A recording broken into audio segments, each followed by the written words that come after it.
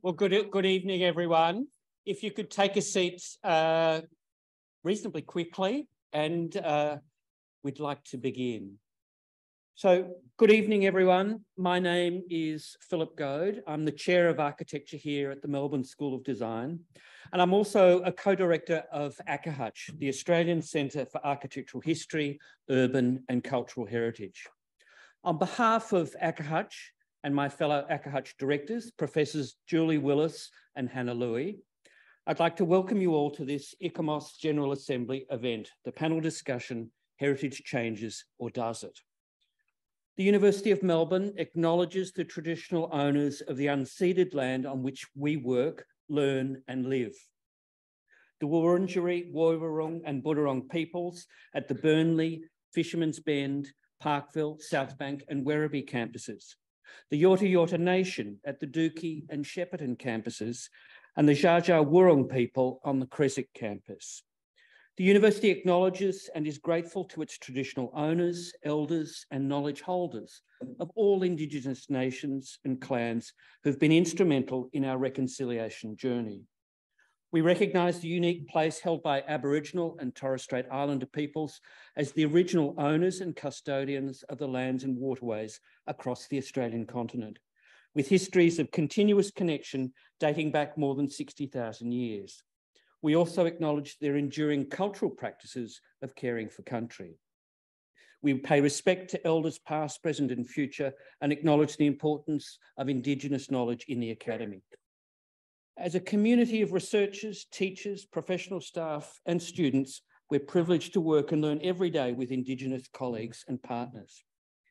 This evening, I'd like to thank Lovell Chen for their organisation and sponsorship of tonight's event and hand over to our MC for the evening, Adam Mornement, a principal and director at Lovell Chen. So please welcome Adam.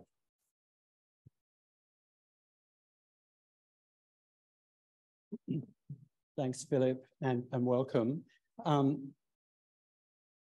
I was going to say, by way of preliminaries, that uh, I want to say a big thank you to the Melbourne School of Design and, and to ACAHUCH um, for hosting us this evening. So thank you very much to, to Philip, to, to, to, Julie Willis, Hannah Lewi, and their colleagues, particularly Theo Blankley, who has been um, a pillar of support behind the scenes.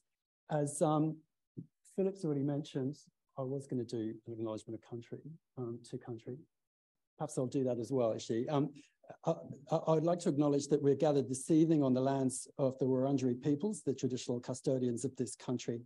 And I pay my respects to the Wurundjeri elders past and present. I would also like to acknowledge the continued connection that the Wurundjeri people have with country, culture, and knowledge sharing through storytelling, debate, and the exchange of ideas, a practice that brings us together this evening. I hope we can do justice to that tradition. Um, I also acknowledge the elders past and present on all lands from which those joining us remotely are located and to all Aboriginal and Torres Strait Islander people who are with us this evening. Um, as Philip mentioned, this evening is a, a teaser event uh, for the ICOMOS General Assembly and Scientific Symposium, uh, which will be held in Sydney from late August. Richard Mackay, the convener for the GA, is with us this evening and will provide some further details um, later on.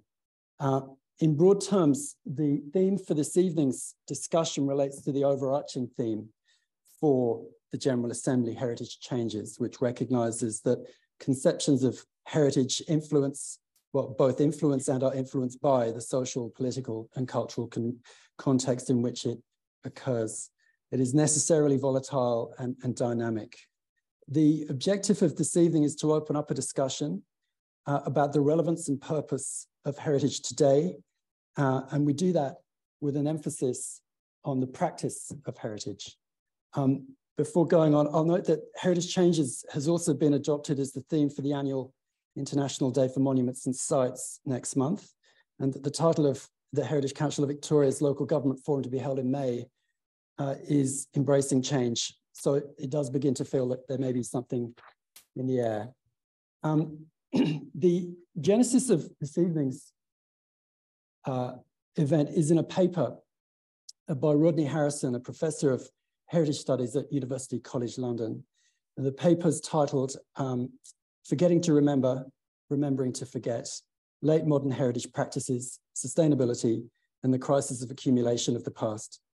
The paper suggests that the process of forgetting is integral to remembering, that you cannot form new memories uh, uh, and attach value to them without also selecting some things to forget. Um, remembering in the context of the paper is described as an active process of cultivating and pruning. Harrison references the growth of heritage lists and registers that we've now been living with for over 50 years. And in all, almost all cases, they only grow. The inference is that judgments about cultural heritage significance are, are somehow immutable, fixed and enduring. But I, I think we all know that that's not the case. Conceptions of value evolve, cultural priorities change, processes of evaluating significance are not static in every generation, has a distinct relationship with the concept of meaning as associated with place. Despite this, the process of reviewing existing assessments of significance are very much not the norm. As a result, these lists, which are already substantial, particularly in Victoria, keep growing. So the question occurs, can we look at this differently? Does there come a point where we choose to prioritize cultivating and pruning? And I don't see this as a particularly trivial or technical matter. It relates to public support for and understanding of heritage. And by that I mean, does the growth of heritage of the places, does the growth of places that we are that are subject to statutory heritage controls risk undermining the effectiveness and intent of heritage? And I say this as a practitioner, and of course, I'm sure I'm not alone in seeing the imperfections in what we do. Um, this got me thinking about how far we've traveled from the origins of heritage legislation in the early 1970s, which was born of a certain clarity of purpose, with a sense of noble endeavor, driven by a popular commitment to protect natural and built environments. 50 years on, heritage is an embedded part of that landscape. It's part of what we do. Um, but are we do the, doing these things out of habit? Are we asking the right questions? Or have we become complacent? Continuing this logic, my mind turned to the idea of seeing heritage registers as collections, collections of places that have been assessed as significant um, over the past 50 years or more. And if you do that, how would a curator tend to these collections and sustain their relevance? And by extension, what might we, and by that using the fourth person, I'm referencing those involved in practices and processes associated with post-contact heritage, what might we learn from curatorial conventions? This line of logic broadened further to consider how we might learn from other related professions and exploring the possibility that the role of post-contact heritage in society might be reinvigorated through greater integration with social, economic, and environmental concerns. So having, I hope, um, set the scene, I'm, I'm, delighted to be joined this evening by representatives of some of those professions. Um, in alphabetical order, um, Paul Carter, right next to me, um, has written extensively.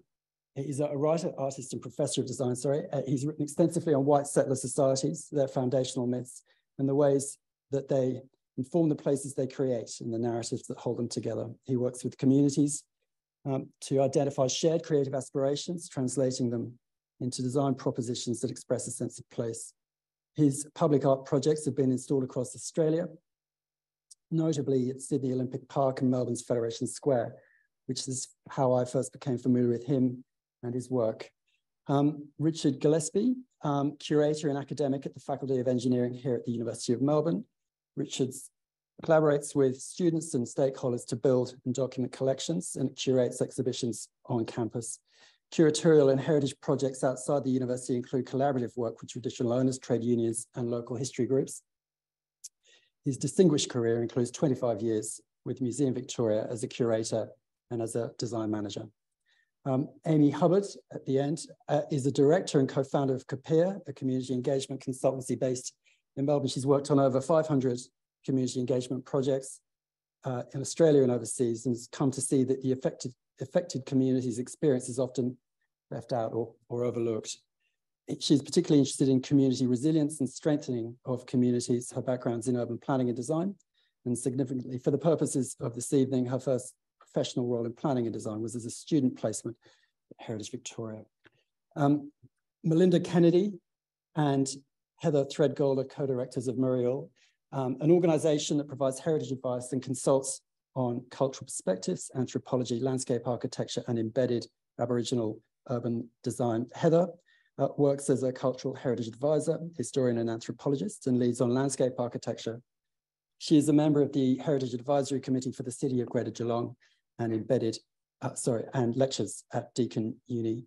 Uh, Melinda also works as a cultural heritage advisor, focusing on Aboriginal knowledge systems, natural cultural resource management and perspectives and narratives relating to urban design. She is a Wadawurrung traditional owner and a member of the Victorian Aboriginal Council. She also lectures at, at Deakin on Indigenous processes and narratives. So thank you all very much for being here this evening. We look forward to your thoughts and observations. Um, the format for this evening is that each presenter has a pre-agreed question or theme that they will talk to, and we'll talk to that theme for about 10 minutes or so.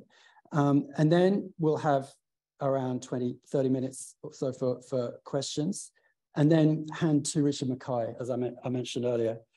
Um, so before handing first to, to Richard Gillespie, I've also been asked to say that it's very important you don't break any glasses in here. You, you Theo asked me to mention that. So should I? Um, so um, having got through the preliminaries, Richard Gillespie, I'll ask you to come on.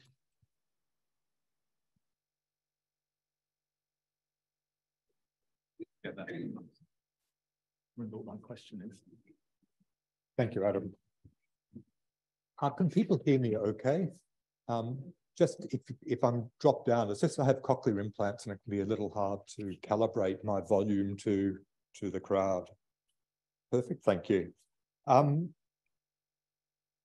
the question that um, Adam really put to me was, can we regard heritage lists and registers as collections?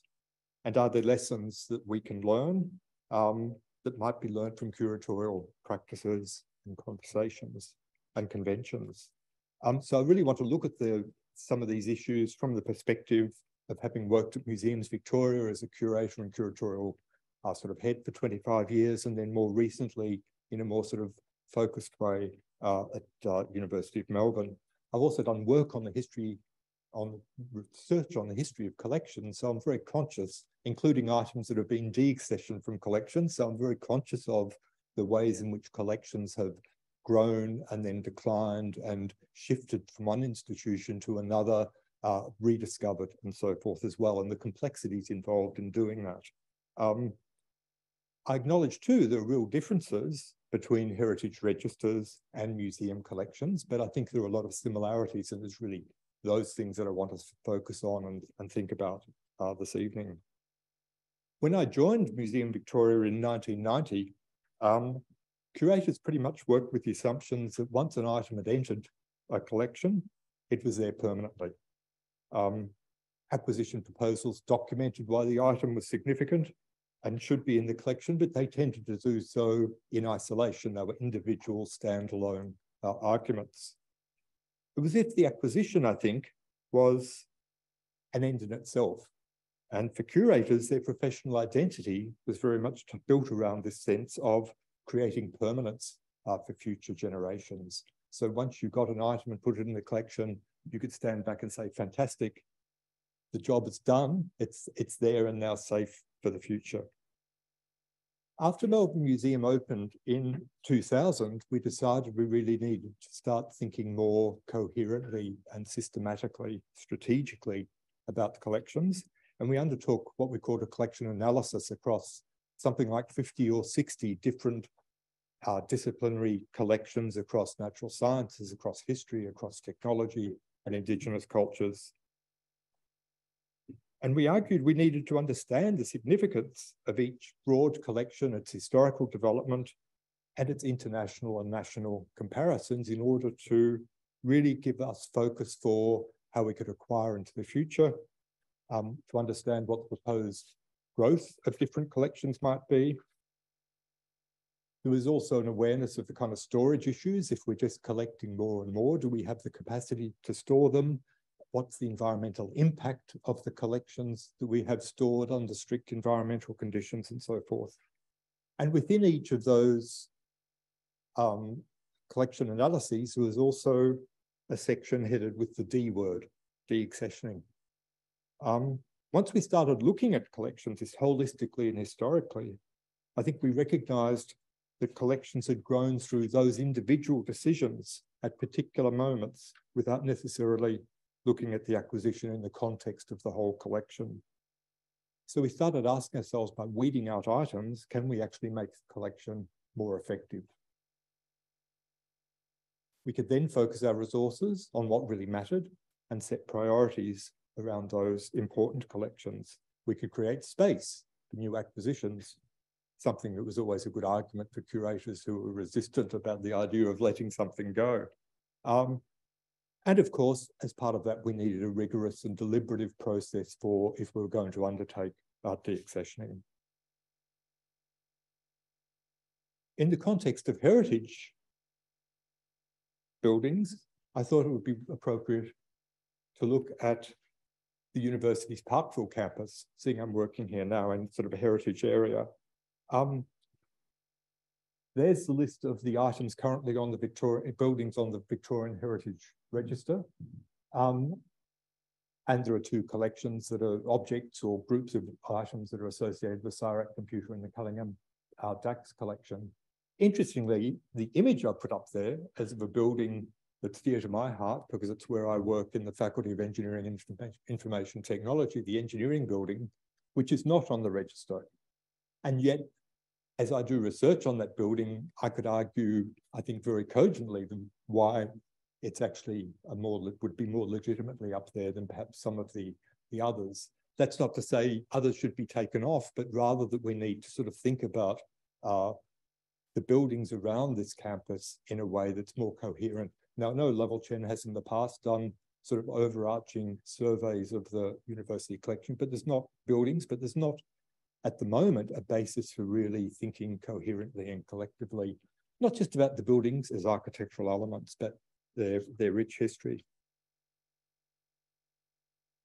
And if you, in fact, if you look, drill down and look into some of the entries on the Victorian Heritage Register for some of those buildings, in fact, the building, the, the very brief architectural statements uh, in terms of their architectural significance, a little touching on the use of the buildings, but sometimes the register actually relates to what they were at the time that it went onto the register. So neither of the law school is no longer in the old quad, and there's no gallery any longer in the uh, physics building either. So the buildings have shifted, but the but the Victorian Heritage Register statement has stayed the same.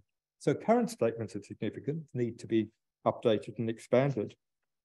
And while I'm conscious of very, of very good individual work that's been done on different buildings by heritage architects across the university, uh, Lovell Chen in particular, um, these are not readily accessible, uh, even for me, and are certainly not reflected uh, in the VHR in the register database. I want to shift now to think about how we facilitate community engagement with heritage. Why do we have collections? To make us feel good and part of history as collectors or to use collections to engage with community? After Melbourne Museum opened again, going back to my curatorial practices, we shifted attention to making the collections accessible to the public through digitisation and online access. Um, so Museum Victoria Collections um, has something like, well, there's over a million items, but about um, 100,000 in sort of history and technology in the heritage space. Um, it wasn't just a question of publishing existing information.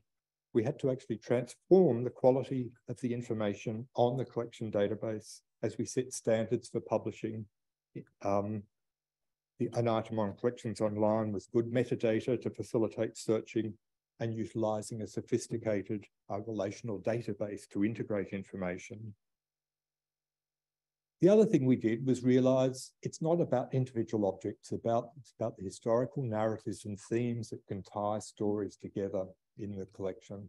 And so there's something like, I think, 1,500 historical narratives now that intersect between groups of objects and larger historical uh, themes. So um, the canoe the, at the bottom, there's a there's an essay around early Melbourne, but then it ties back to uh, an Aboriginal bark canoe collected in Melbourne in the 1860s.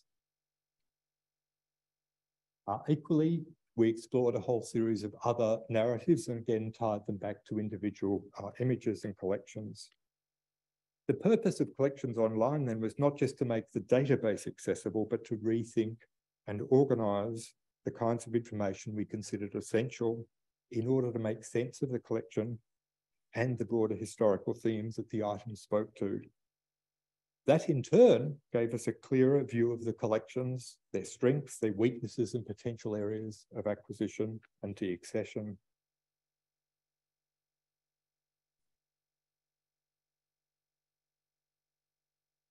Heritage, of course, is as much about awareness and sense of the collective appreciation of our histories as much as it is about listings and controls. It would be worth asking, could the Victorian Heritage Register, rather than being that list of individual buildings, actually become a kind of broader mechanism for educating and building community awareness around heritage that would list both the individual buildings, but those larger historical narratives. I know there has been conversations in the past and some work being done on this, but it's still not reflected in the way that it, it actually engages with the public on that. I did also work um, while at Melbourne Museum, Museum Victoria, on the Golden Mile Heritage Trail, which I think is an interesting example of where we did try and tell a larger story across a series of heritage buildings within the city. Uh, this is around 2000 that got launched. That involved and was very much driven by the Melbourne Convention and Visitors Bureau, uh, Heritage Victoria, um, Ray Tonkin and Peter Hiscock were involved in that, the City of Melbourne, the museum, Old Treasury Building, and Graeme Davison worked as the historian pulling together that. We then installed plaques right through the city. Um, there are remnants of those plaques are still in place. Um, as that implies, there were all kinds of maintenance and operational uh, challenges in maintaining it. We did then shift to a um, a tour app, an, um, an app that allows you to navigate through it, and it remains the basis for our professional tour guides tours through the city uh, as well.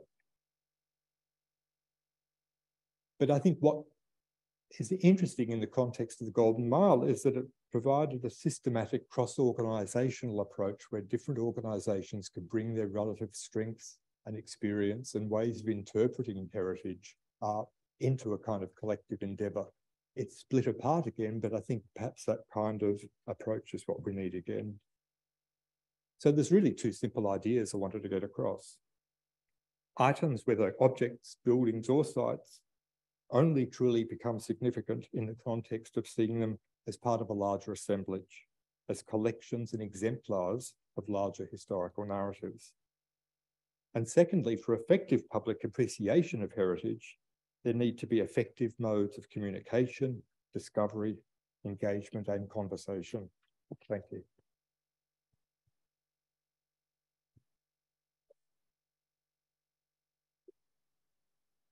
Thank you, Richard.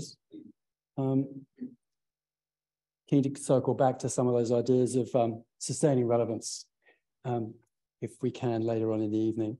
Um, the next speaker is Amy Hubbard who will be addressing the following question. Thank you, Amy. I think it's a very good lead on from the from the first presentation. Um, so my question that I hope to answer tonight uh, is, is there space for expert opinion and community sen sentiment in heritage? Now, Adam made mention before that my first professional role was at Heritage Victoria 25 years ago. So I was an urban planning undergrad and um, my six months at Heritage Victoria uh, did, did have an impact, but it made me very quickly move into social planning and community engagement. Um, and I, I, still remember, Jeremy, I think you were a PhD student at the time. You won't remember me, but you were the, the ball of energy in the office.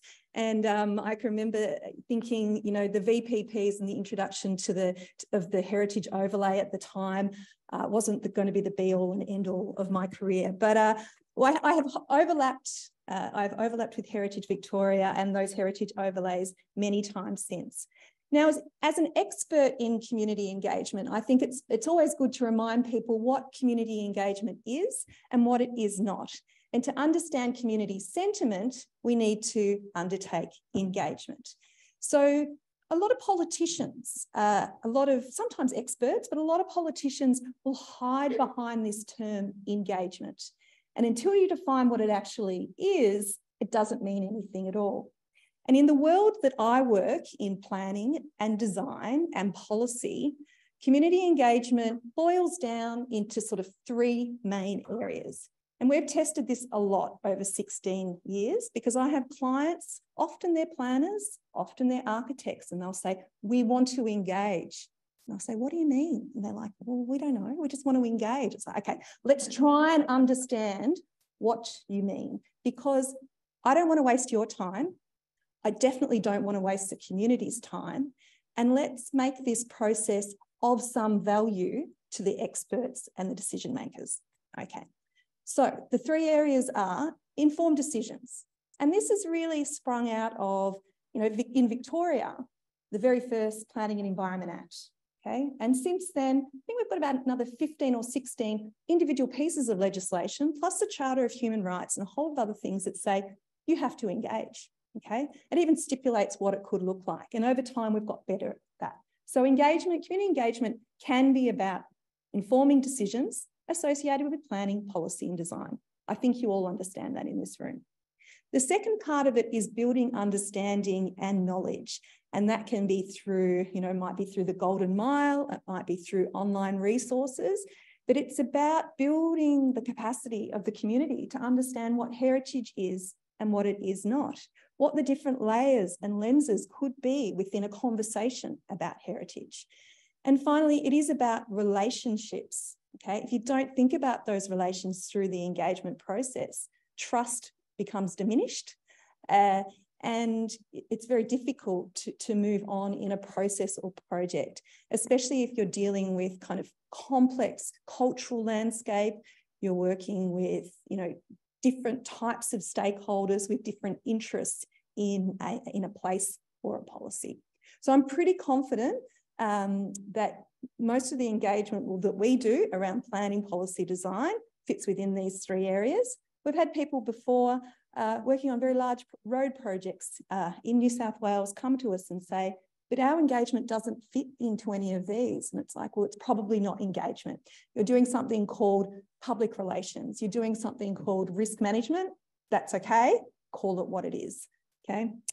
So um, I just want to read out this quote to you. So everything in my community has heritage value. The buildings, the streets, the parks, the gardens. I don't want to see any change here. We want everything to stay the same. So a few years I was working on a project with East Melbourne residents, okay? But I was also working on a structure plan for Central Broadmeadows.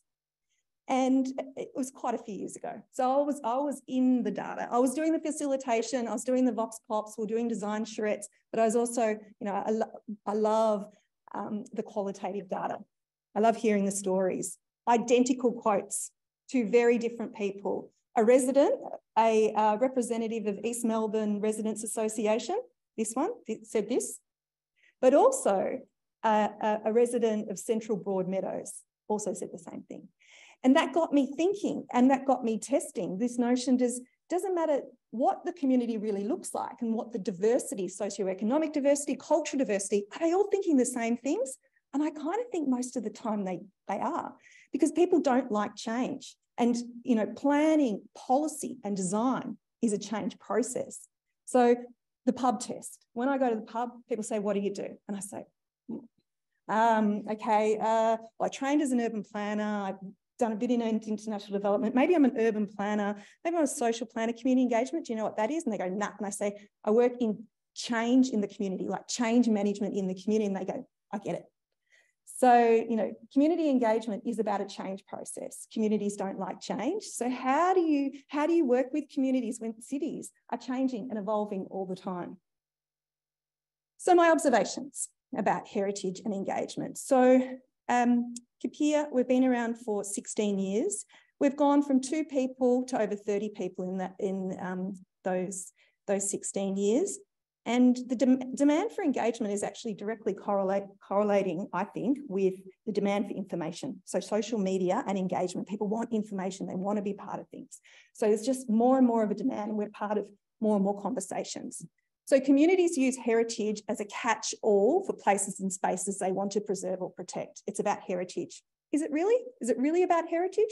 Maybe it's about something else that you feel connection to that, that space or that place. Most communities want to acknowledge and understand the past before they can start imagining the future.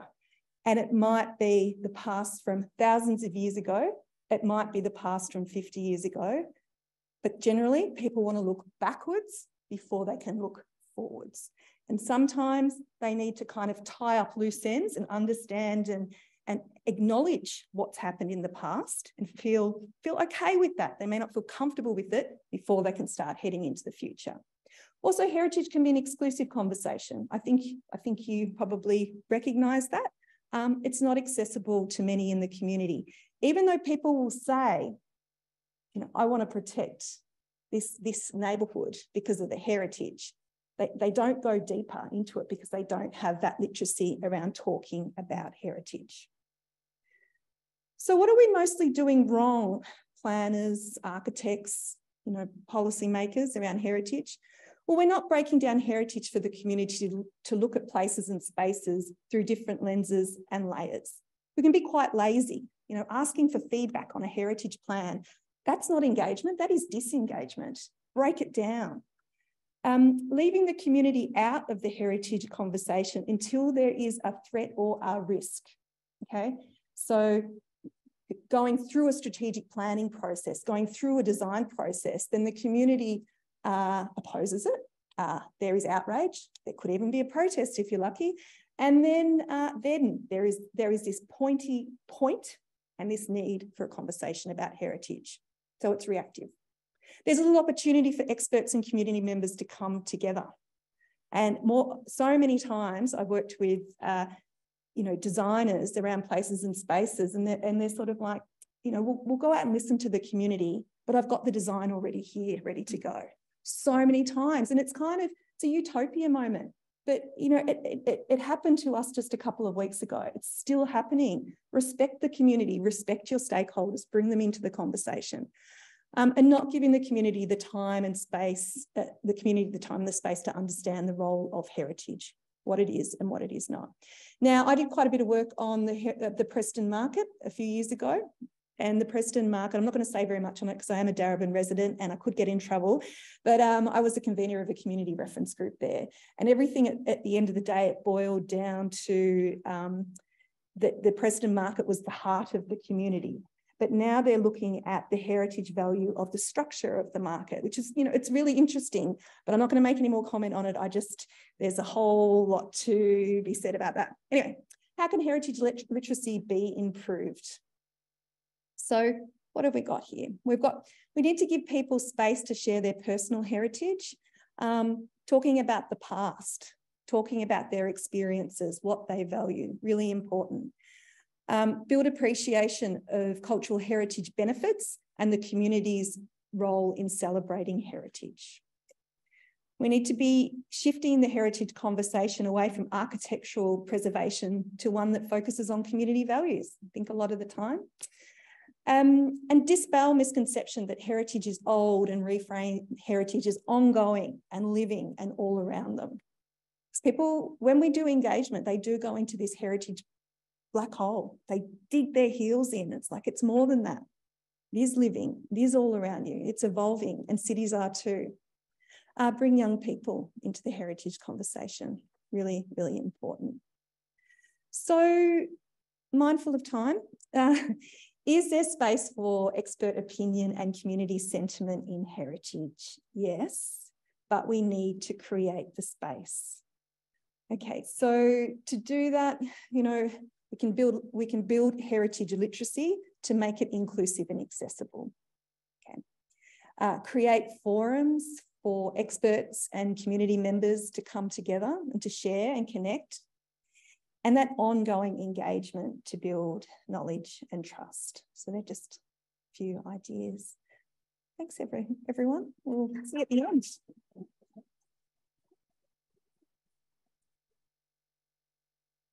Thanks very much, Amy. Um, I love that Preston Market reference. Yeah, is that ask you, you follow a process that ends up being a situation where all the wrong questions are being asked. It's um, something we could perhaps return to later on. But, um, and I'm also interested to, to hear more about that, the screening effect of, of engagement as a term, as a term that people hide behind. Um, they think they're doing it, but they're not really delivering. And i have wondered, I don't know, perhaps this is a question for later on, but whether heritage is an equally problematic term. It means so many things to so many to, to so many different people. You wonder whether it's still a useful term. But um, enough of that. Now to Paul Carter to take us through harvesting the future. Paul.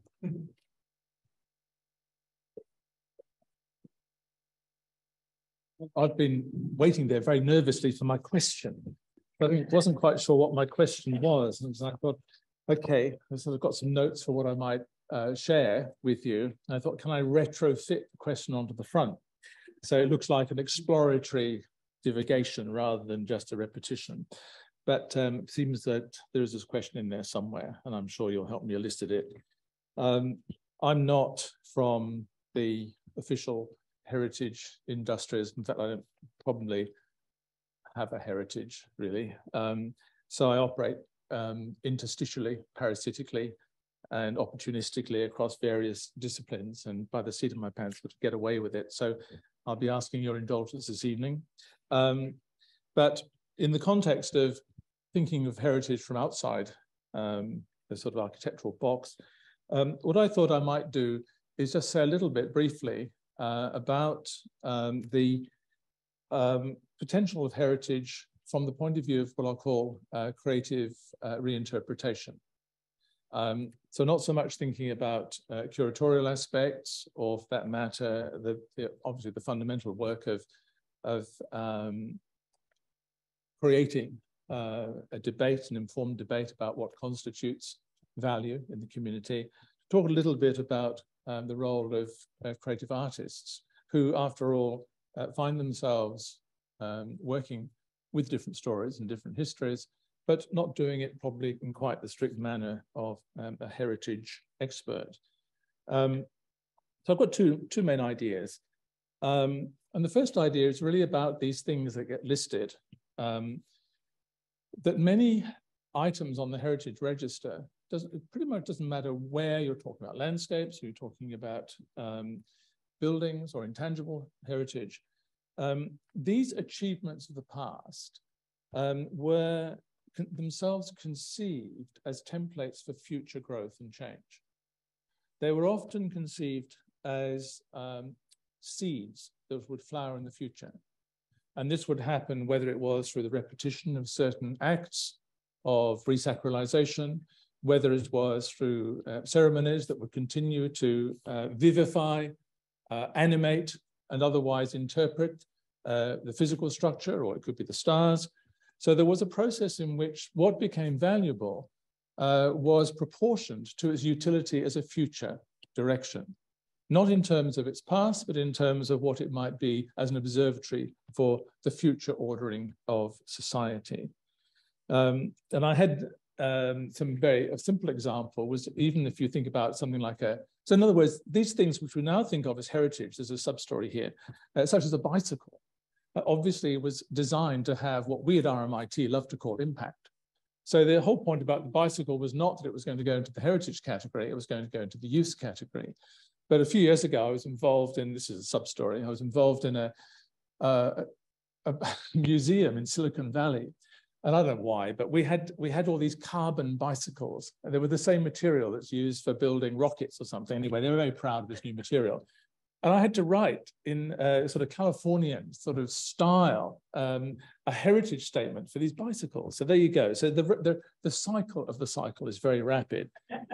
but the point is they were seen when they were constructed as part of a, a future spin-off. And now suddenly they were in the past. So the this anyway. I don't quite know what to make of that. But of course, it is true, as we know in many cultures, that the value of heritage depends in destroying it utterly and rebuilding it constantly. The Malay, traditional Malay house is a classic example of that. It's not healthy if it's old. Of course, its form is constant, or but it's constantly evolving, being taken apart, renewed, and changed. And the vitality of that process of creative reinvention is what grants the house its aura and its capacity to maintain generations there.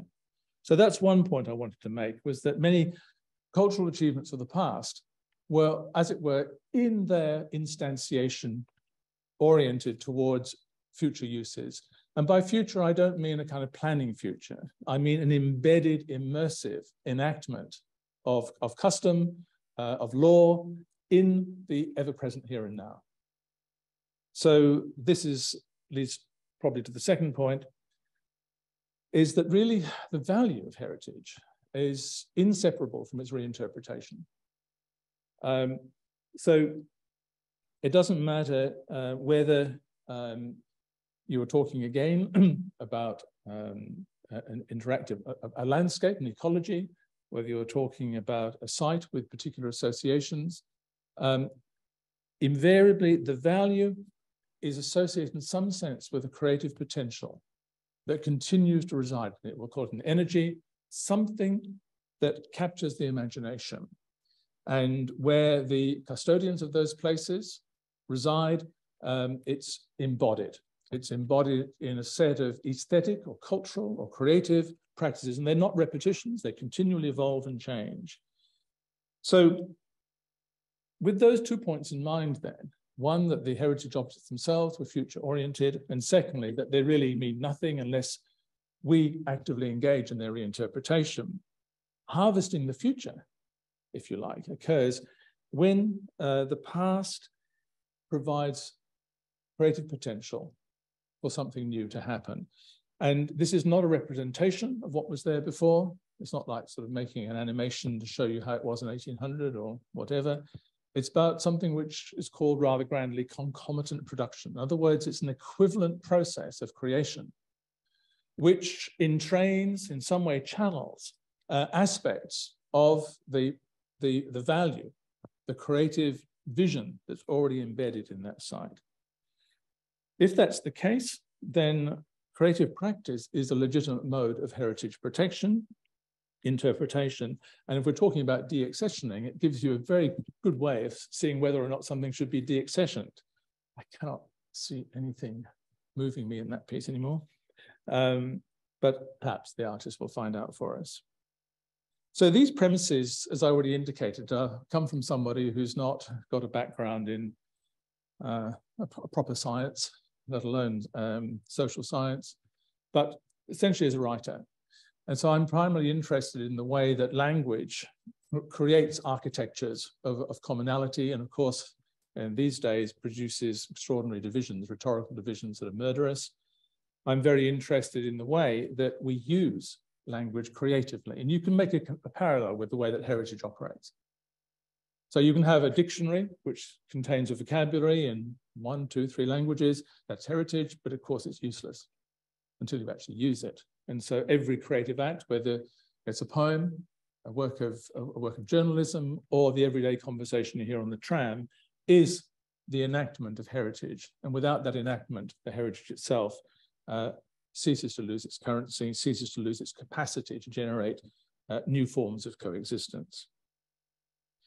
Um, so I'll just, um, so I've been involved for quite a long time in doing uh, what are called public artworks. We didn't go into the sort of what quite what they are, but essentially they involve a negotiation between received stories, um, new places, and uh, trying to embed through the process of concomitant production certain potentials, almost like DNA for future possibilities. Um, so um, with the ground writing that I did at, oh yeah, you can see it. Oh, we've got two, very good. Two Federation Squares, wow. There's enough contention about one of them, no, two of them. Um, so the object there was to create, um, shall we say, a, a template. So the, the big kind of spiral pattern was uh, a, a gesture towards a kind of choreography of meeting as you know, the, the, the, place wasn't there. It's a suspended platform. It sits over um, Bunurong and Wurundjeri land. It sits just adjacent to the Yarra.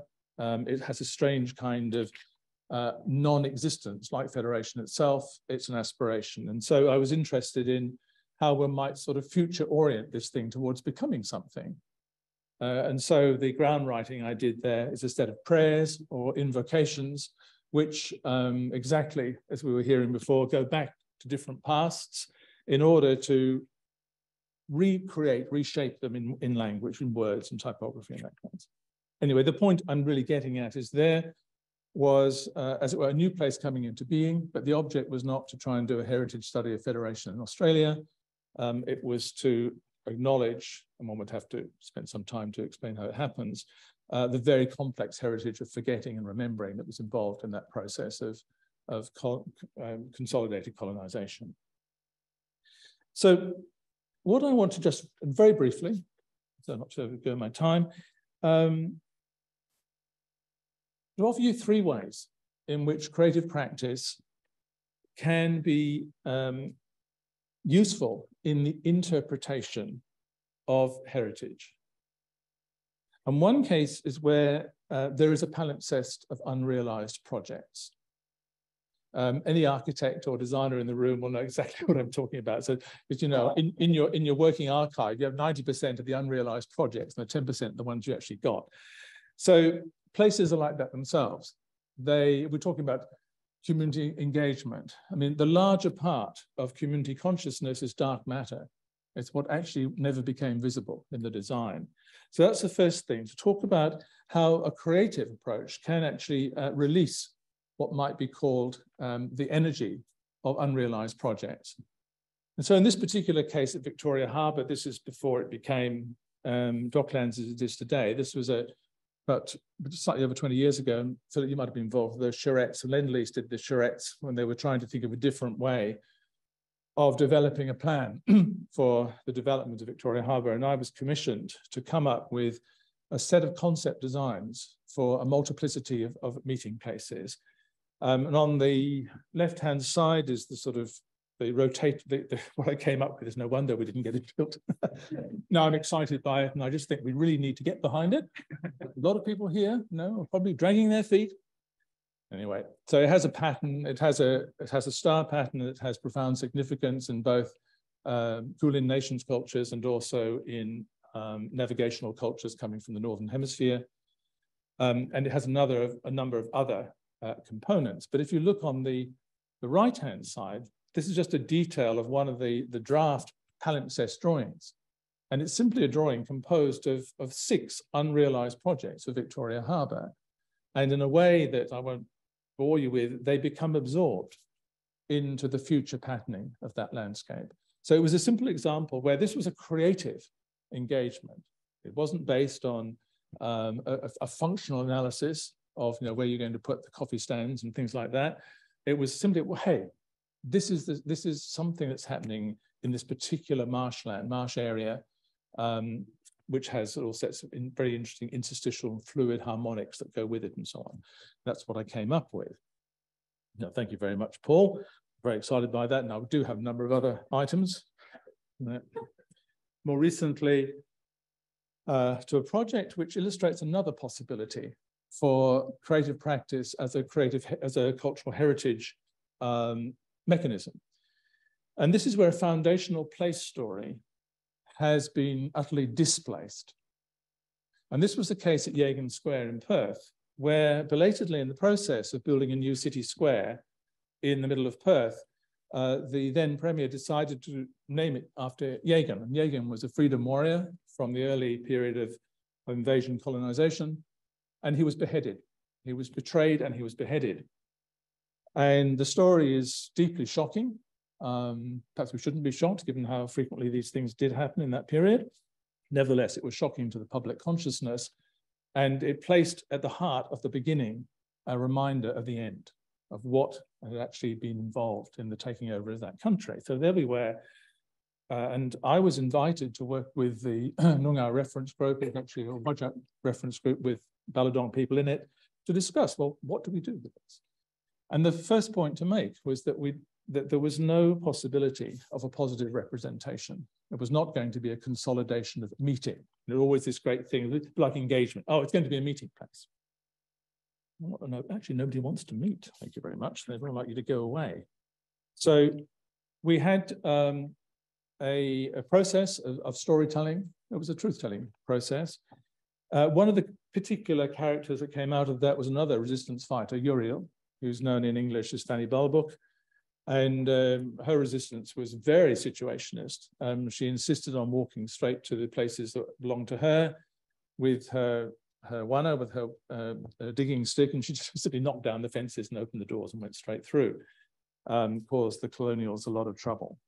Um, but Yooreel was a very important figure in discussing um, displacement as a present absence and the holes, if you like, in the fabric of reality, trauma, psychic landscapes that were there. Um, so out of that, we built um, on, on the left, you can see the Lyons um, IPH design and with the, the tower with the Ramus illuminations on it. But my role was to translate, if you like, under the direction of the Noongar to people that I was working with into a set of energy patterns that just that showed seismic shifts and drifts um, that that didn't make for easy reading. So that was the the energy pattern we drew over it, and then um, it got translated into various things. Uh, probably the most important diagram here is the string figure, which became a symbol of how you have to pull apart in order to be together. And in fact, unless you have that tension, which is based on a recognition of sovereignty, um, it's always going to be, you know, white fell away. Um, above um, is part of the opening celebrations, or the top, top square.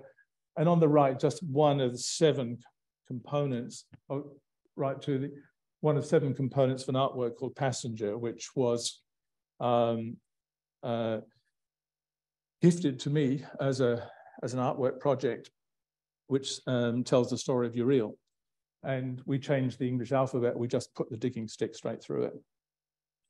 Um, but the point there is that a foundational place story had been displaced. And it was very hard for um, people committed to positive statuary and positive memorialization to know what you do with a negative. But I think in a creative practice, especially if it's coming from uh, a strong community, uh, you can deal with the absences in a way that um, is more effective. So a heritage in this case of displacement.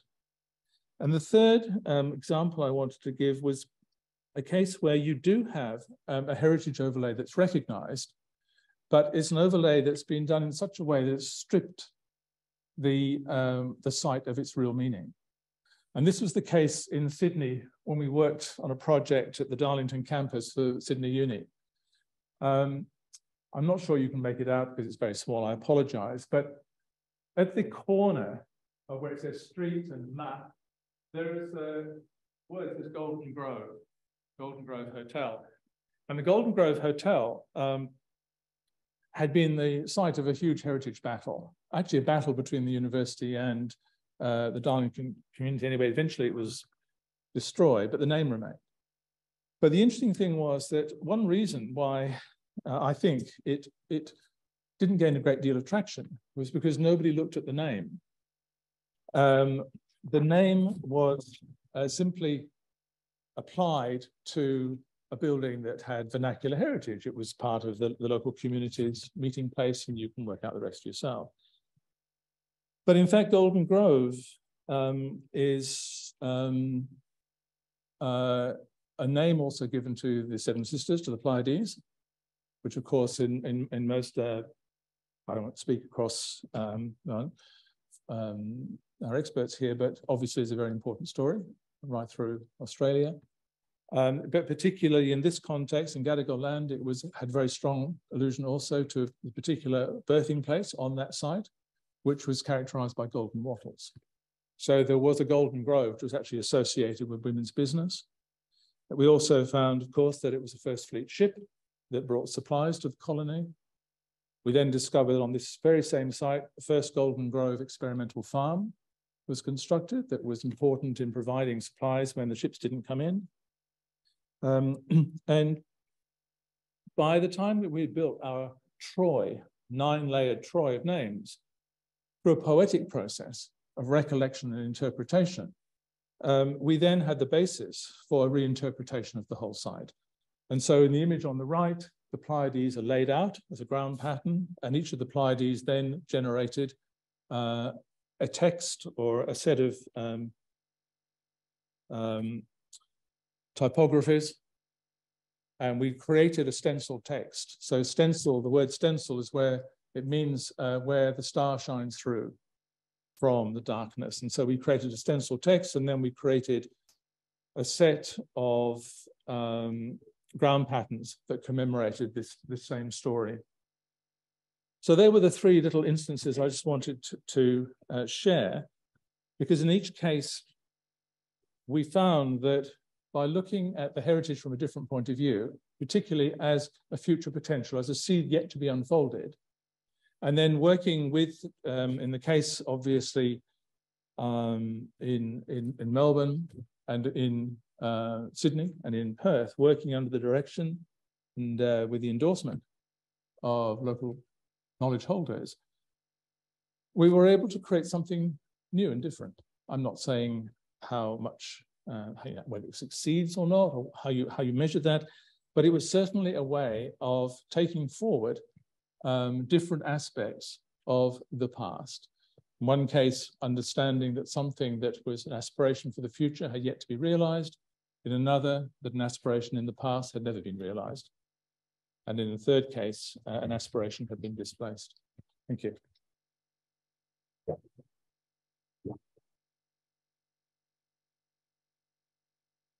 Thank you very much, Paul. That was fascinating.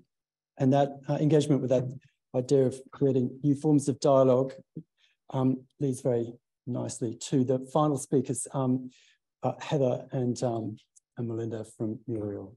Thank you.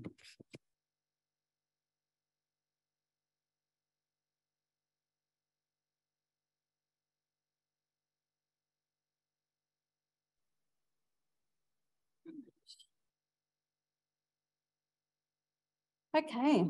Uh, firstly, I'd just like to say Nura Narek, Melinda Kennedy, Warang Baranguk, Waraki Damanyaro, Warandri, Ja. So I just a little bit of language. So thank you. Thanks, Melinda. And we're going to sort of talk together, but talk to you and um, and give a little bit of a different presentation. Um, our question is visibility um, European and Aboriginal conceptions of heritage embody philosophies that are fundamentally divergent. From an applied perspective, are there opportunities for nourishment between heritage and culture? And if so, what are the priorities? That covers a lot, really. so within that question will be various questions. Um, and the way we are producing our, oh, didn't did that not come up? No. Sorry, get used to this computer. So we're actually doing the opposite of what you were saying, Amy, and we're, going to start with the future and take you back. Um, so we're going to unpick the, the place and space and bring back to culture because we're going back to the past using history to think about the future in a cultural heritage perspective. So we've got two parts to the question that we're going to break down, and that is um, Aboriginal concepts of heritage, particularly cultural heritage. And then we're going to talk a little bit about emphasis for change. So um, we're sort of talking to the slides, but we're sort of not. So you'll see this, these um, brings together a, a, a, picture, doesn't it, of a yeah. certain place. Unfortunately, I've made Heather come to my way. so I must admit, half of that question I say, just give it to me in layman terms. I say that to my professor too. But what it, the reason why we do it this way when we present, it's very much the way that we did it in my culture. So there was no grandstanding. There was no standing in front and talking at people. It was about everyone being together and we spoke together, including children, including elders. And it was a learning experience from all, not just from one. But even though I can't say that because I'm a lecturer, so if my students are watching, don't ever hear that you're meant to just listen to me.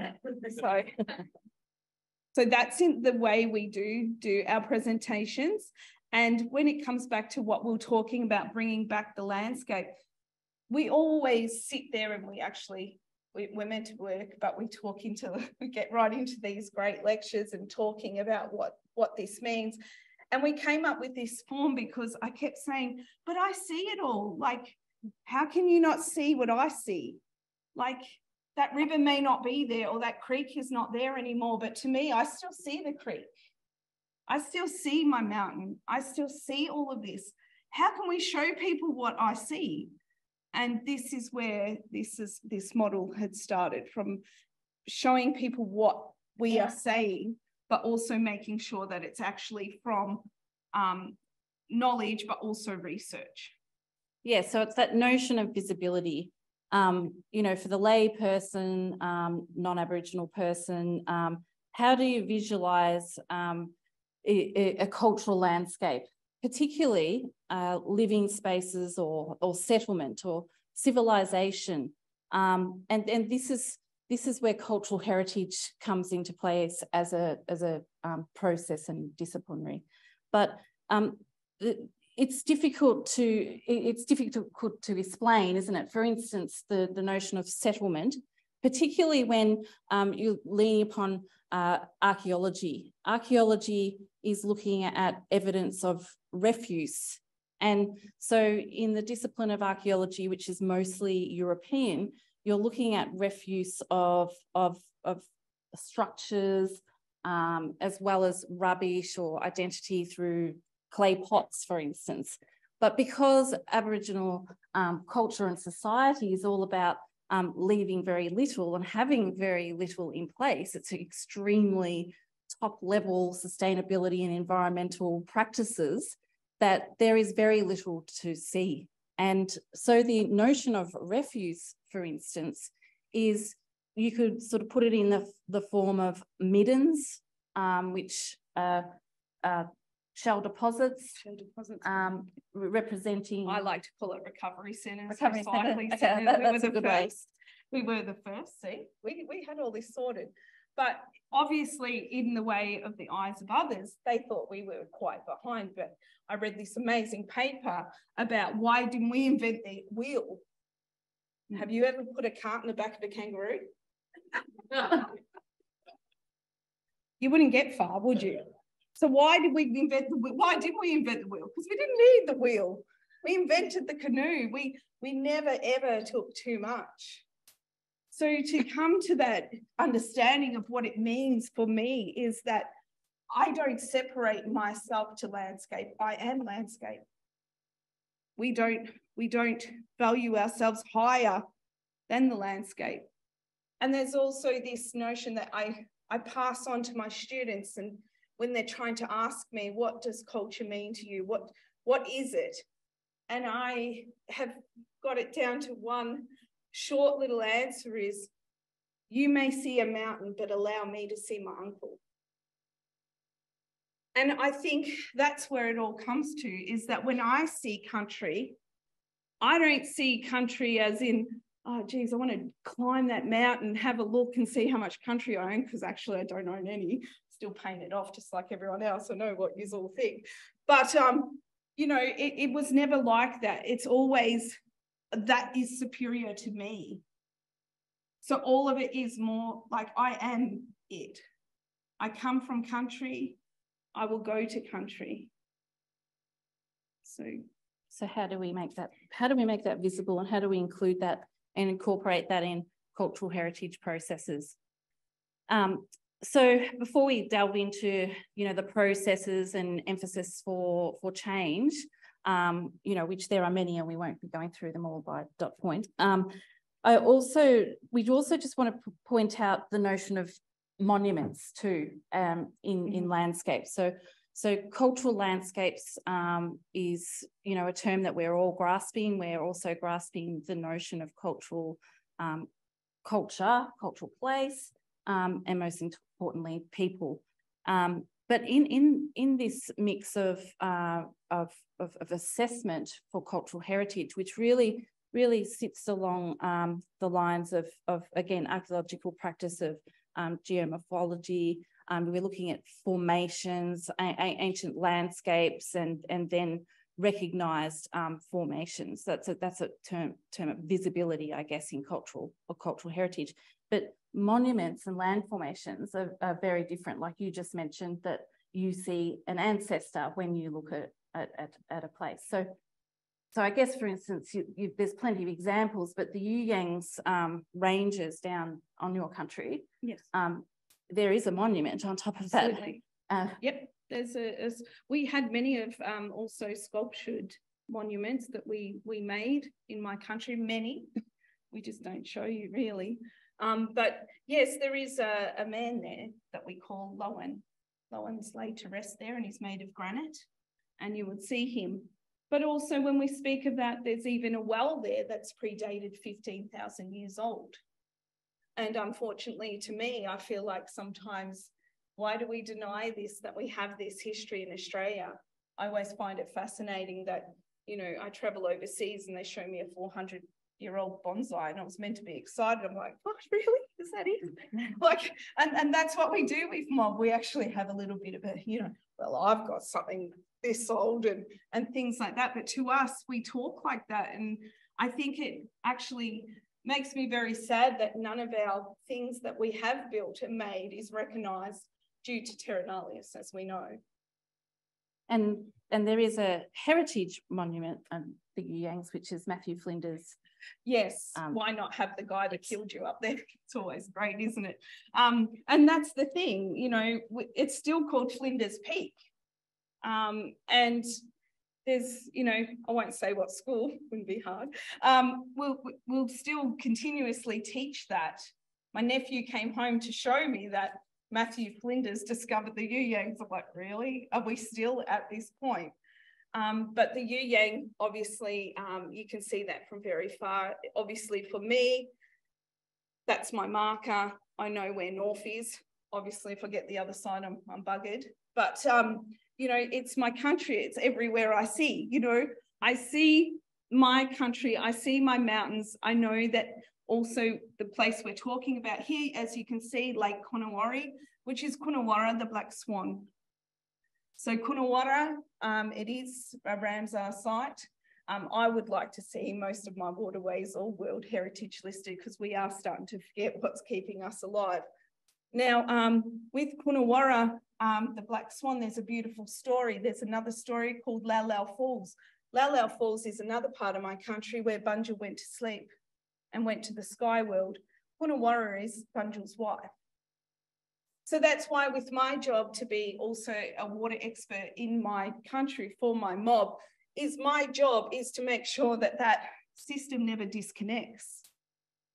Because I can't let Bunjil and Kunawara separate because for everyone else, they're probably like, oh, well, you know, that wouldn't really matter. But for me, that was a law that was set, a cultural law that was set for us to make sure that humanity lives on. So in my eyes, if I let that disconnect, that means that there will end up, there's none of, that we won't be here anymore. So for me, um, it's a lot deeper.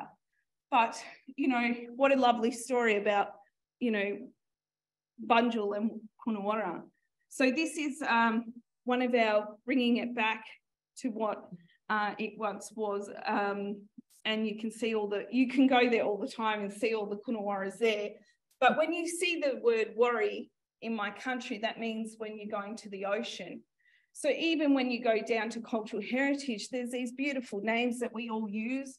You know, we've got Nunawading, we've got Jilang, we've got, you know, Werribee, we've got Ballarat, Warrnambool. All of them are our names. But they weren't named just because it was a place. That's what's so beautiful about the methodology of our naming.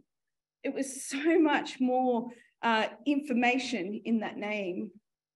So when I look at the Barwon River, which you know was the Barre Warre Yulluk, which means the mountain to the ocean, but if I was going from the ocean to the mountain, it'd be Wari Bari. So there's all these things that we did to make sure that we knew where we were going and um, not that we ran around all the time. That's another story. We didn't run around all the time. We had homes. Sorry to tell you all. we did plan. we were the we were planners and we were architects and we built houses. We had structures and we even had families and kids, believe it or not. But this is the thing about with our cultural heritage it's always disconnected. Yeah and it's and it's difficult when like talking back to um, land formations and and monuments you know uh, such as the You Yangs or other um, you know hills and everything has its place. And and so they're in danger um, through the process of of development residential urban development um, and and even things like wind turbines, you know, there's there's a, a, special place that does have a turbine right on the top of it. Um, that some of these hills are being carved out and um, uh, the visibility um, is unrecognisable. And then how do people connect to country when, when that's in danger? So look, we're always slipping in and out of parallel um, universes as heritage advisors, cultural heritage advisors. We, we, there's an emphasis on um, background research on, on history and heritage and, and um, significant ground disturbance. So we're spending, you're spending a lot of time um, post-colonial with a little time of, of, of pre-colonial, which is often um, sometimes written into, you know, cultural heritage management plans in a very, you know, copy-paste type dialogue without this sort of um, understanding level of, of, of, visibility, which is, which is important because we're presenting um, history now in the present for the future. And so we're, we're sort of rehashing um, history alongside um, the, the practice of cultural heritage and recognition of cultural heritage, which is housed into the private domain of the register, the collection, um, which most people don't see for good reason because it's it's important not to. But sometimes even Aboriginal people don't see that collection, don't see where that information um, goes. So well, it, at the moment, cult cultural heritage is sort of is it's in a stagnant place because there's so much more to put into to the process than than looking at the geology, than, than looking at okay, you've got um, the, the refuse, the, the shell middens, the overlay is um, accentuated uh, along waterways, whereas it's very well known that there's settlements that existed inland and on stony rises and other places. So it, it's in a it's in a awkward place, um, and we th we think that you know anthropology is a is a great discipline for this alongside cultural knowledge because um, field work is a really good practice that we no longer really, we, we, we still practice, I'm an anthropologist, but it's, um, it's changed over time and, and, and field work, being out on the ground, making site specific um, cultural heritage important is, is takes time and we need to take that time. We need to do it in doorway, really um, which is which is important, isn't which it? Which is inclusive of people. And this is the problem with the cultural heritage process is that we're always putting people in the past and site use in the past and places in the past. I feel in the past. so, I'm always still put in the past and I'm and I think I'm standing here. It's okay. Um, you know, that's also very hard. Um, that it is always spoken in that past you know, that past, but we are practicing culture still today. Mm. So there is still going to be, and like, like um, everyone had touched on about having that future. And the future is that we also um, have scar trees. We are practicing. We do make coolamons. We do make all of these things. Well, in time to come, they will be on the register. Hmm. And that's what I try and teach my children that, you know, I we will be the history of our, our mob. So let's, you know, look at it that way as well. Yeah, so look, look we'll sort of leave it with a, a, couple of questions that we can talk about in discussion, but, um, um, you know, how, how can we embed change to create visibility? So, you know, with, with my PhD research, you know, it took over 20 years to come up with, you know, to, to build on um, knowledge and fieldwork experience and the exchange of knowledge between landowners and Aboriginal people about cultural heritage and identifying that um, and sharing information.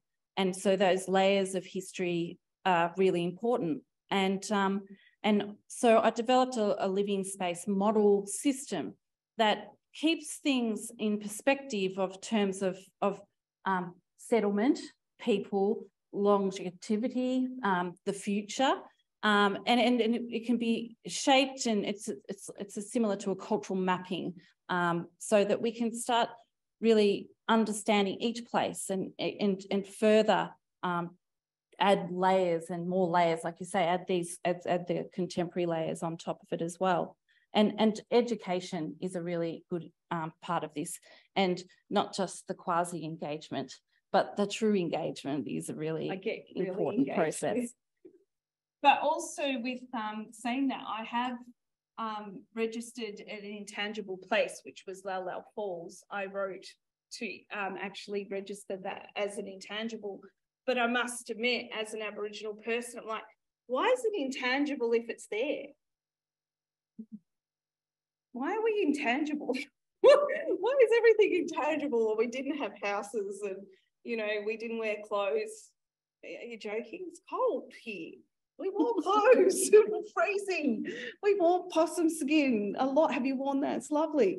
But that's the thing. It's always a story or make believe or I don't know, he touched his axe and he became Superman. Um, all of those things, but how if those coincide with how those landmark all those landmarks and all those landforms formed. And the collection is yeah. invisible. Everything's invisible. And so it's by making it visible and, and, and yeah. awareness. But thank you for Thank you.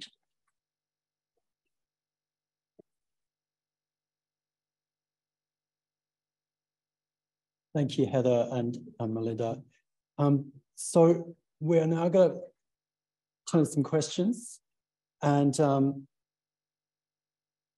there are some questions here that I've got to have a quick look at. But um, thank you very much, um, Heather and Melinda, and thanks to everyone for those presentations. I, I, wanted to first start with a with a question, just picking up on a few of the themes that have been raised in um, in the presentations this evening. Uh, uh, talked a lot about where heritage sits in a time dimension, whether it's in the past, in the present, in the future. And, and one of the other themes that's come through is, um, particularly in, in Heather and Melinda's presentation, this idea of promoting a new dialogue, promoting an ability to read landscape and, and read country uh, in a different way and exploring opportunities for Indigenous and European understandings of place and landscape to be enriched in, in that way. I wanted to put a question, I might put this in the first instance to Heather and Melinda. Um, you know, we're living in this world where heritage practice is potentially enriched and reinvigorated through an understanding of Indigenous cultural practice. Is it possible, do you think, uh, to imagine this as a step towards a shared proposition of heritage in Australia, perhaps delivered in some way through systems of co-management? Is that something that's conceivable? Yeah, it's already happening. That um, the process for assessment um, as a heritage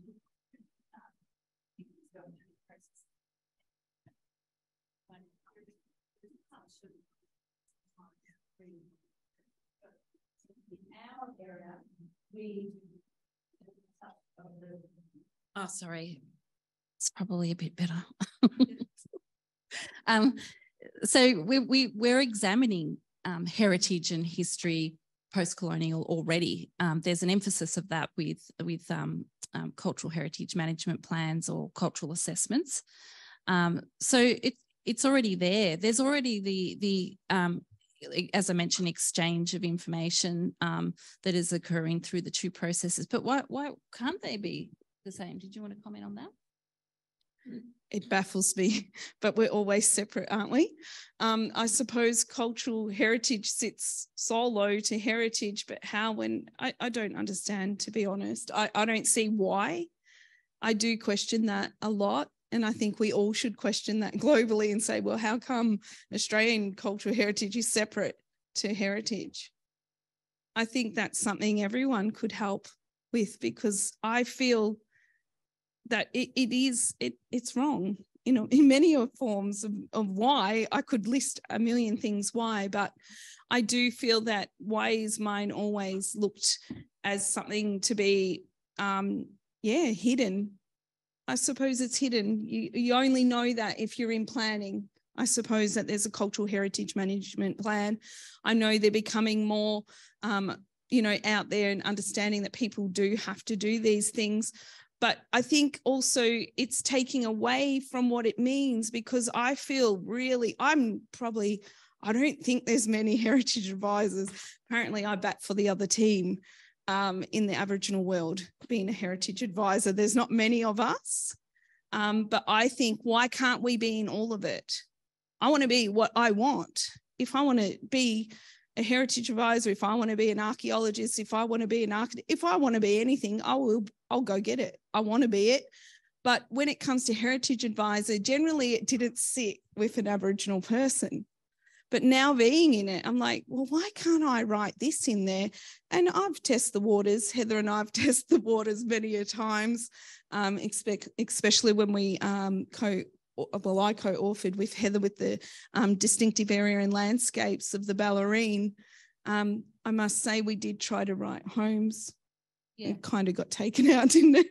Um, so we did try to use different language to say that there were homes, but uh, it was it was a mystery. It kind of left the paper, the word. So um, we had to call it living spaces. Thank you. Are, are, there any questions from the floor? Please put your hand up if, if there's a question you wanted to put to any of the panelists.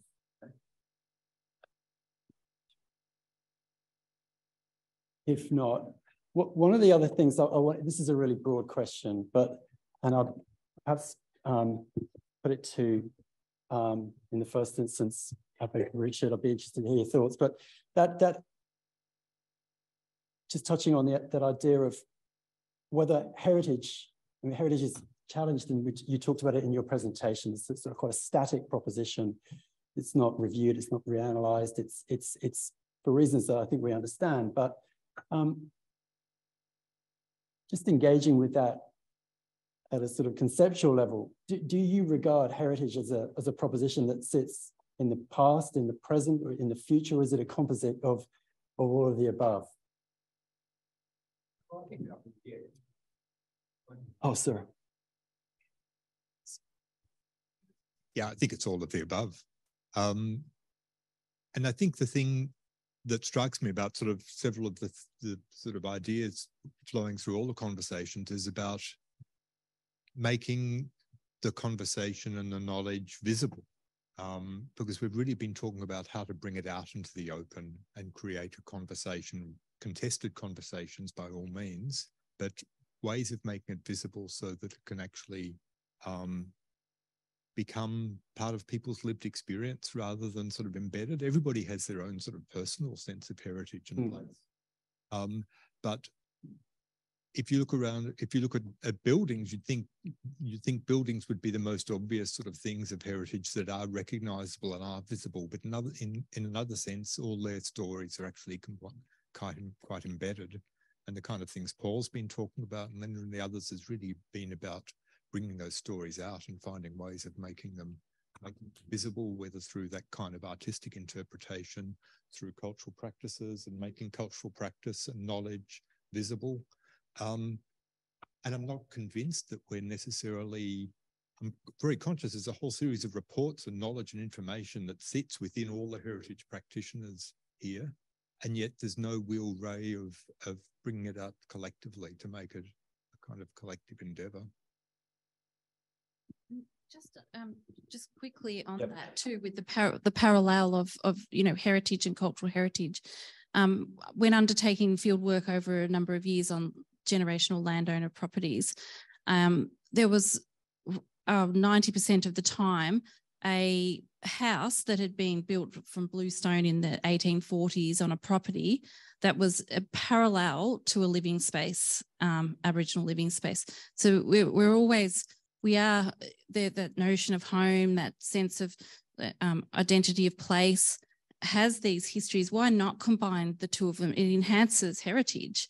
And like you said, maybe the name can be reviewed, but there's this is something it is it is you know the, those layers are there, the evidence is there, so you know it, it's already a crossover.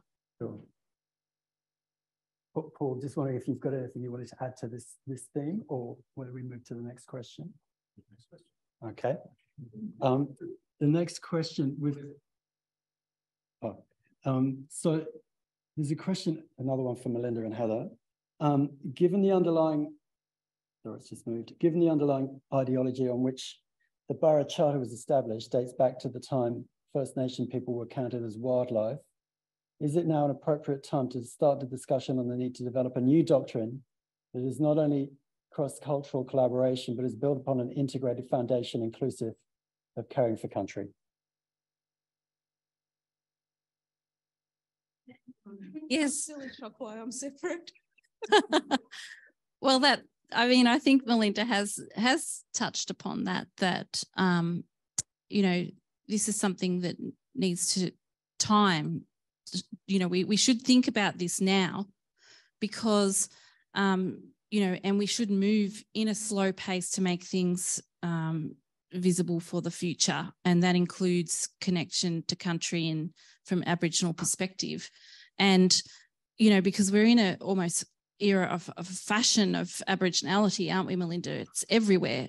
Um, and that's good that we're moving into this direction, but people are also catching up and there's a lot of trauma and there's, um, you know, shift and change and then things are happening to country like i mentioned where the land formations are shifting and that recognizable elements are, are being removed and so we we we, it, it is time to think about this. Um, the acts have been in place for a little while now, but we're living a different life. Um, we're moving at a different pace. So it is time to slow down.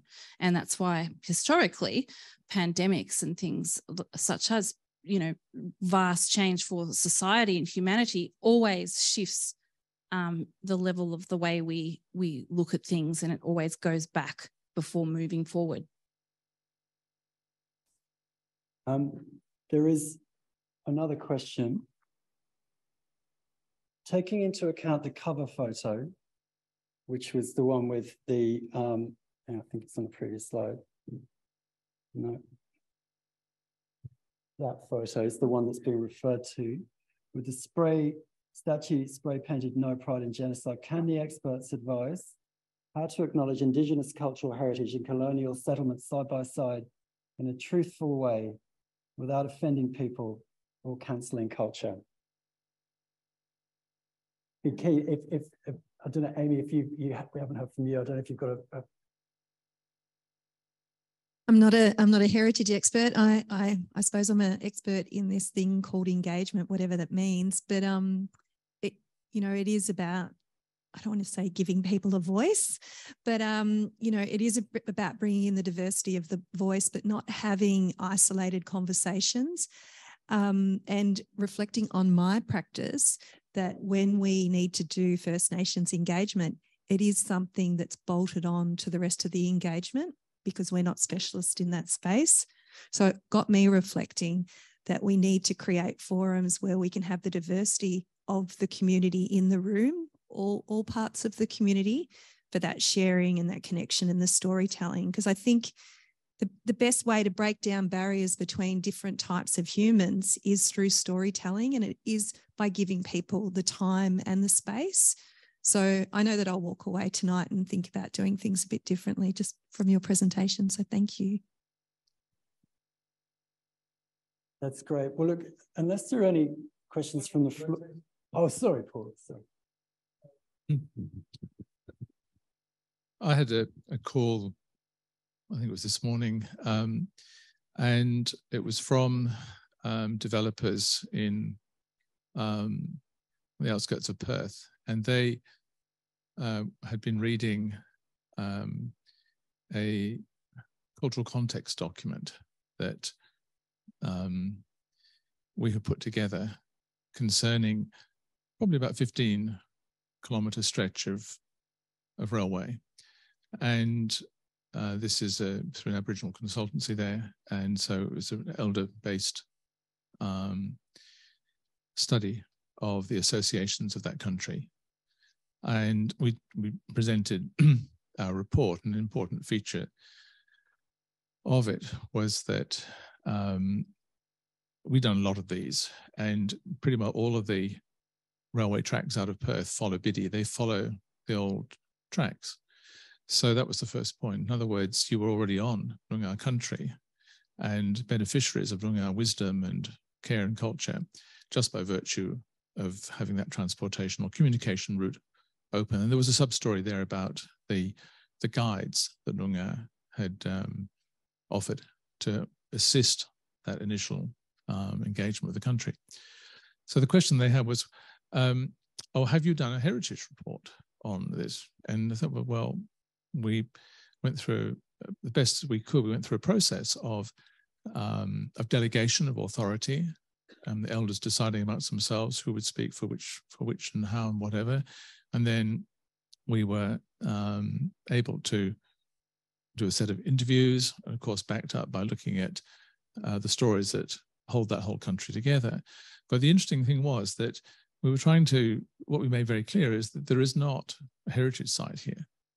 Um, what there is is a living connection of, of to country, which is uh, a very complex interrelationship between, in this case, we're looking a lot at Banksias, for example, you know, the seasonality of the Banksia harvest, the importance of the social events associated with it, the importance of the migration routes up and down. So all of that was in there. Um, but they said, well, have you done a heritage report? Said, no, we weren't asked to do that, but we have provided you in our report with the heritage registered sites, and they're all small sites, and they're very much talking about intangible there's nothing intangible about these sites. They're sites of, of, of human memory. Um, they're sites of meeting, passing on knowledge. They're sites of education and so on. But it's true on the register, it's just a little kind of mark and it says artifact scatter or uh, mythological significance. Now, that is, there's no problem about the mythological significant remaining secret, so it should. But that wasn't the issue. The issue was that I was saying, look, but that, this is forget all that stuff. The fact is, what the elders are telling us is that it's all connected. And so the railway is not, you've just got a hotspot here where you have to sort of bend the rail or something. The whole thing is a vibrating string of hurt and pain across damaged country. So that's where they were saying, the elders were saying, truth telling is not simply about um, disposition, it's also about the continuing uh, misunderstanding that you're on country. This is what they were telling us.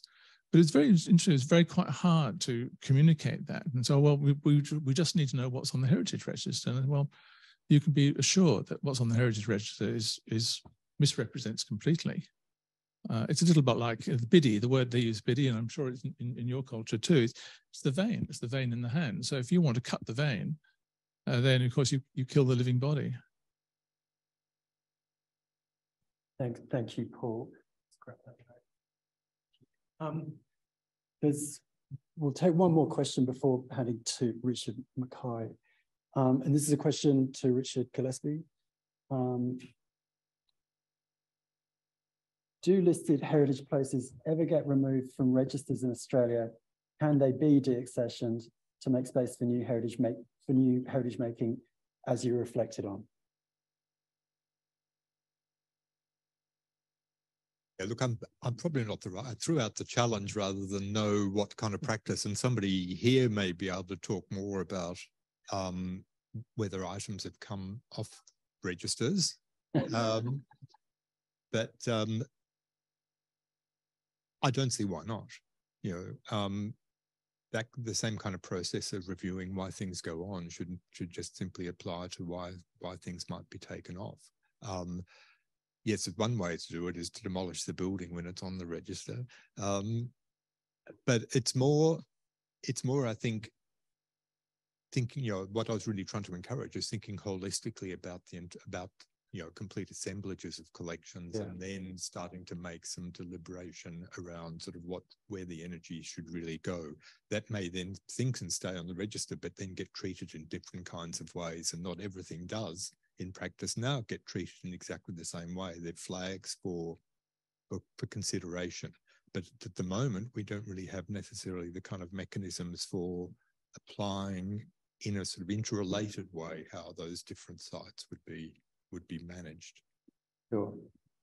On, on, on that deaccessioning issue, the other thing, of course, is that we're talking about creative practice. Is creative practice is a great way of deaccessioning.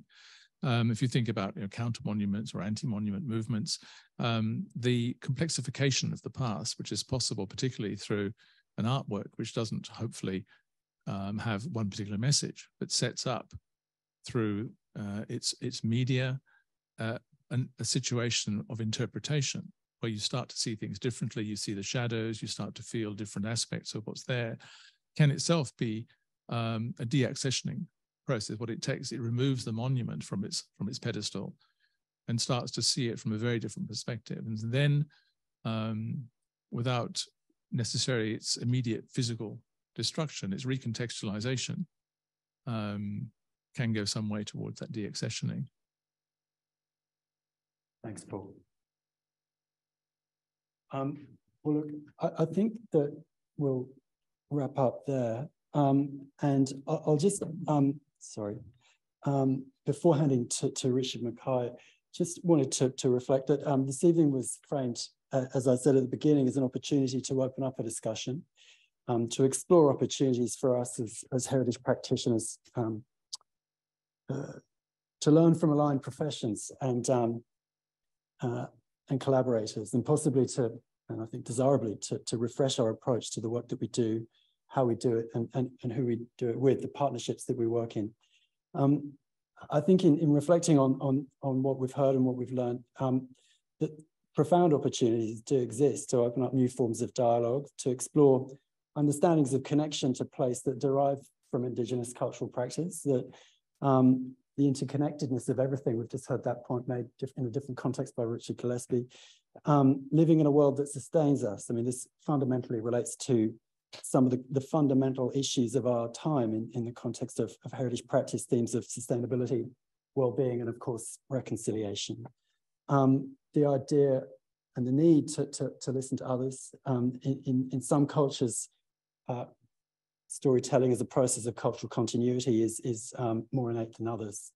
Um, but I would observe that storytelling and narrative uh, and conceptions of narrative as being a common theme in many of the presentations this evening, um, which is really heartening. Um, I'd say finally um, that there's a need for us to guard against complacency, to, to be open to different ways of thinking, um, to seek opportunities for heritage practice and process to, to play an active role in supporting societal and, and cultural priorities. Um, and with that, I'll close there, but I, would like you to all join me in thanking very much the, the panelists for their time, insights, and thank you very.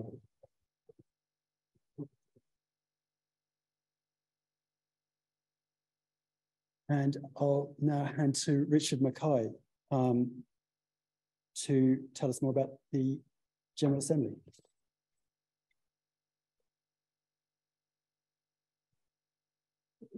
Thank you, Adam. And I, I begin by acknowledging that we've met this evening on Wurundjeri lands. I, I, thank Philip for his acknowledgement of country. I pay my respects to elders past and present, extending those respects to Aboriginal people who are with us this evening and noting that the event about which I'm going to tell you is graciously hosted on the land of the Gadigal, also land that was, um, was never ceded. I'd like to thank um, ACAHUCH for hosting us this evening and particularly thank Lovell Chen for organ organising this evening's event as a small vignette and a teaser taste of just one of the kinds of things that you might be able to experience at the ICOMOS General Assembly, which is being hosted in Sydney from August 31 through to 9 September later this year. I, I, guess most of you know, but ICOMOS is the International Council on uh, Monuments and Sites. That's monuments, not monuments. Um, and it is, it's the global heritage organisation.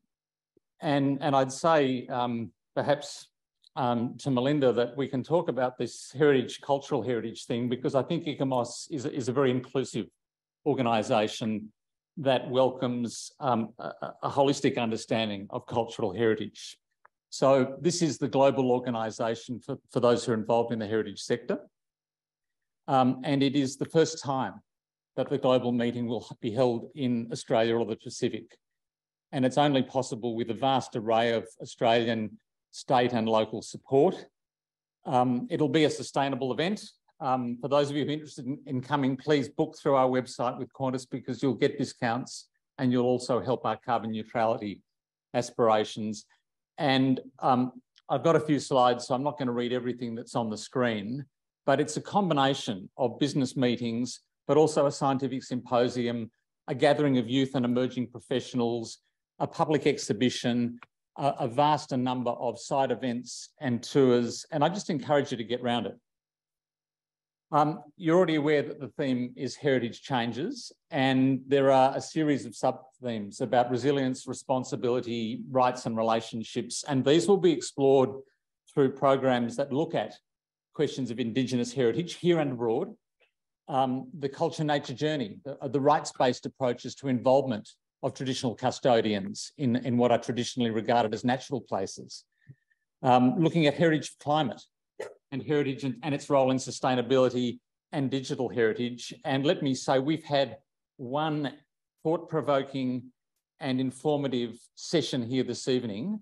During the course of this event in Sydney in September, um, the program has just been um, announced and there are 88 sessions from which you can, can choose over the course of the week in a very diverse format, some with discussions, some with um, uh, papers, some with workshops, some with site visits, and concluding with um, a World Heritage panel session as we lead into the 45th session of the World Heritage Committee, which will follow immediately in Saudi Arabia. Um, Adam's already spoken about the theme of heritage changes, but it seeks to examine the tumultuous changes that are taking place in this field in the first years of the 2020s. The climate emergencies, COVID, lockdowns, closed borders, virtual meetings, the Black Lives Matter movement, all of these things have proud, profoundly affected and altered the ways in which we're experiencing our heritage. So we're looking at what's changed and what needs to change. And, for, and what does heritage change? For example, the environment, the economy, a number of the themes that we have explored this evening. And I, and I also thank the, the panelists, Paul, Richard, um, Heather, Melinda, and, and Amy for their contributions. And I sincerely hope that you will bring those thoughts and ideas and join us in Sydney at some similarly provocative and, and engaging panels. I mentioned the Youth Forum. For the many young people I can see in the audience, um, please put this in your diaries. It's a chance to um, collaborate and meet young people involved in this sector from around the, around the world. Um, there's been a, a, a, competitive selective process. We've just finished round two. Round three will open soon. The good news is there's still about 50 places left. Um, two to three day program hosted as an interactive series of workshops and camp on Cockatoo Island, a component of the, um, uh, uh, sorry, I should say Cockatoo Island Wareamah, um, part of the Australian Convict Sites World Heritage Property. And it's being organised by a very active committee of ICOMOS young professionals. There is also a very broad public program. Um, there'll be a major exhibition across five days at Darling Harbour, a Heritage Trades Fair, um, for those of you who are looking to participate, there's about two booths that are still available and see me afterwards. Um, we have 30 international ICOMOS scientific committees. Uh, these are the committees in which people get involved in heritage history and conservation, or in wood conservation, or in Antarctic heritage. These are all specialists. All 30 of them are meeting in Sydney, some with workshops, some with events. All of them will have a display in the Heritage Exposition, and all of them will be available to meet um, and engage with and learn about.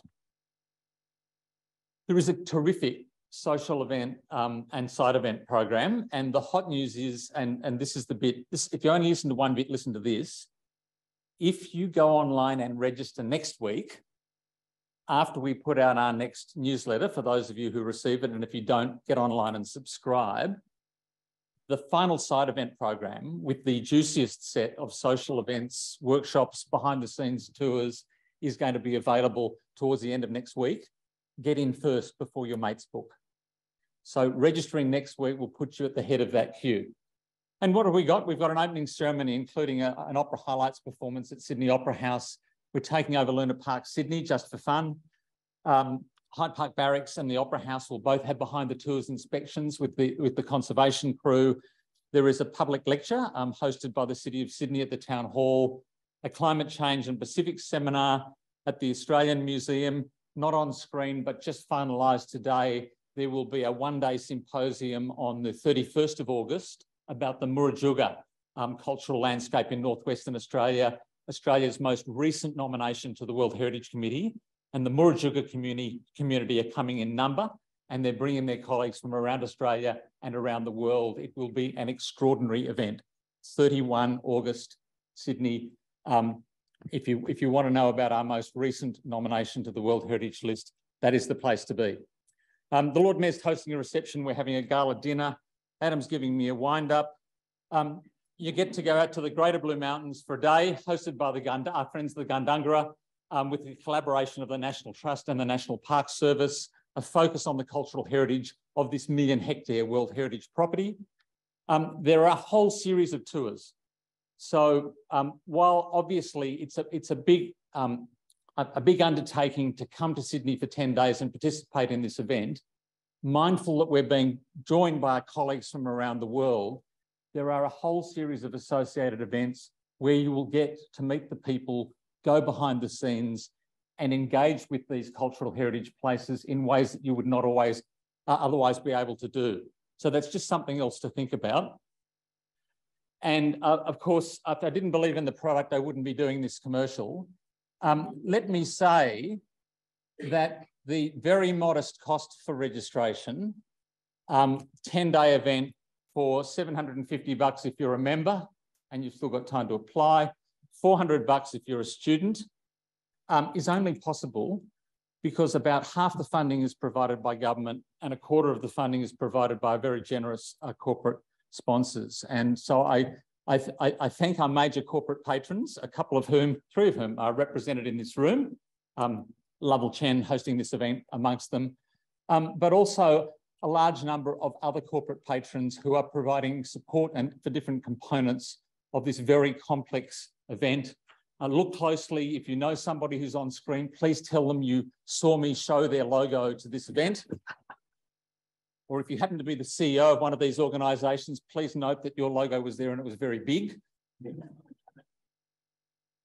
Um, and of course, a whole lot of government um, partners. Um, and we are just being absolutely magnificently supported by organisations like the Sydney Opera House, the Park Service, the National Trust, Luna Park, the Australian Museum, etc. Um, so it's a place to be. 10-day program commencing in late August, running through until 9th of September with tours um, before and after and um, I'll look forward to you joining me in Sydney in August and September a little later on this year. Thank you.